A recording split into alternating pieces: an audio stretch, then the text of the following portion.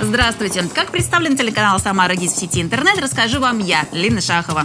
В январе «Самара ГИС» на Ютубе набрал более 210 тысяч просмотров по всему миру, что составляет плюс 20% по сравнению с предыдущим периодом. Самыми активными зрителями в интернете стали Россия, Украина, Казахстан, Беларусь и Германия. Телеканал «Самара ГИС» на Ютубе по-прежнему остается на лидирующих позициях среди телеканалов Самарской области.